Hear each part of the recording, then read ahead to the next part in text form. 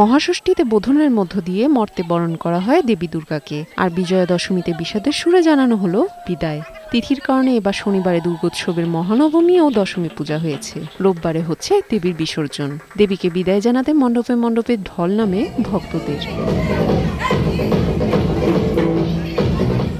উৎসব মুখর পরিবেশে চট্টগ্রামে উদযাপিত হচ্ছে বিজয়া দশমী পতেঙ্গা সমুদ্র সৈকত ও কর্ণফুলী নদীর অভয়মিত্র ঘাট সহ বিভিন্ন স্থানে প্রতিমা বিসর্জন দিচ্ছেন সনাতন ধর্মাবলম্বীরা। রয়েছে বর্ণিল আয়োজন নিরাপত্তায় নিয়োজিত রয়েছে কোস্টগার্ড রাজশাহীতে ধর্মীয় নানা আচার অনুষ্ঠানের মধ্য দিয়ে শেষ হয় বিজয়া দশমীর বিহিত পূজা। পরে শুরু হয় সিঁদুর খেলা। সেই সাথে চলে শুভেচ্ছা বিনিময়। সকাল থেকে পদ্মা নদীতে শুরু হয় প্রতিমা বিসর্জন।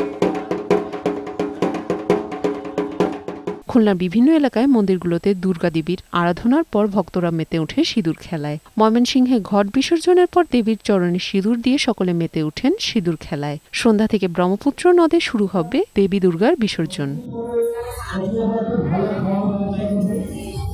বান্দরবানে দুপুরে প্রতিমা বিসর্জনের মধ্য দিয়ে শেষ হয় শারদীয় দুর্গোৎসব। সাঙ্গু নদীতে দেওয়া হয় প্রতিমা বিসর্জন। এ সময় নারীরা মেতে ওঠেন সিঁদুর খেলায়। দেবীকে বিদায় জানাতে দিনাজপুরের মণ্ডপগুলোতে ভিড় করেন ভক্ত পুণ্যার্থীরা। পূজা অর্চনা শেষে তারা দেবীর পায়ে সিঁদুর দেওয়ার পর একে অপরের কপালে সিঁদুর পরিয়ে দেন। ঝালকাঠিতে আনন্দমুখর পরিবেশে শেষ হল শারদীয় দুর্গোৎসব। সন্ধ্যায় সুগন্ধা নদীতে বিসর্জন দেওয়া হবে দেবী দুর্গার প্রতিমা। এছাড়া খাগড়াছড়ি লক্ষ্মীপুর, মাদারীপুর, নওগাঁ, মাগুরা সহ সারা দেশে শোভাযাত্রার মধ্য দিয়ে চলছে প্রতিমা বিসর্জন। ঢাকের বাদ্যে ভক্তরা বিদায় জানাচ্ছেন দেবীকে। ডেস্ক রিপোর্ট বৈশাখী সংবাদ।